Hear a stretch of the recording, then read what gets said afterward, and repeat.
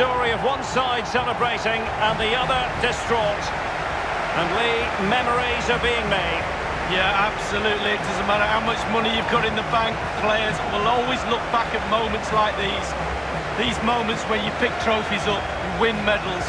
Absolutely brilliant for this group of players. Yeah, you can see what it means to this tight-knit team. Real solidarity.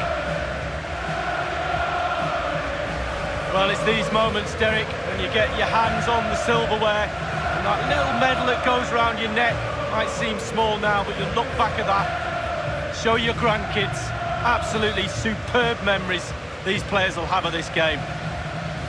Yes, a special moment in the career of any footballer. And now for the trophy lift itself. The cup winners.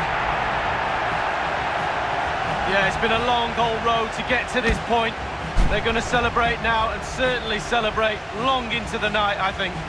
There's always the element of chance in a cup competition. But my goodness, they've taken the rough with the smooth. And now they savour the moment. And this is really special. Getting to celebrate in front of your own fans, Lee.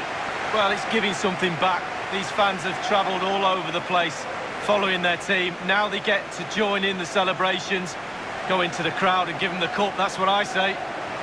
Well, then it might never find its way to the trophy cabinet, Lee.